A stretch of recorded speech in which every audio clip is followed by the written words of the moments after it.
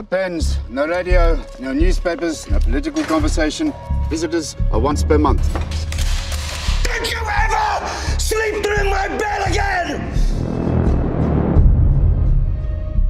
I could get used to this. You are the white Mandela. You are the most deluded of them all. Whatever happens in there, don't give up. We've heard about you too. How many years? Eight for me, 12 for him.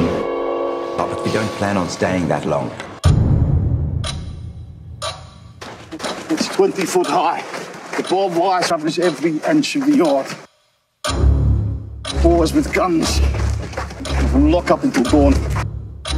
Tunnels in any direction. They just lead you back on the prison property. Everybody comes in here now. They're going to break out of here by next week. Always a first time. That's my thoughts exactly. You want to make key with pencil and drawing paper? No, no, from wood.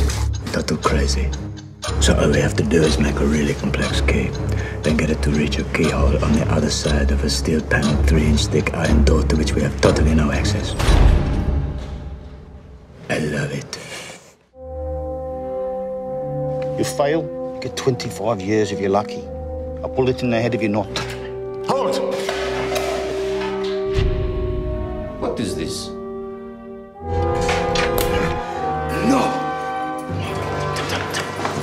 Somebody's coming, quick. Your whole plan is doomed to failure. I won't give up.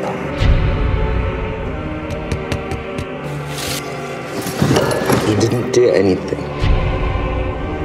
We are prisoners of conscience. So it's different for us. Well, we're prisoners of war. What is wrong with you people? Get you to break us. This is how we fight. Hold on to that anger. It reminds you there's another world outside all this.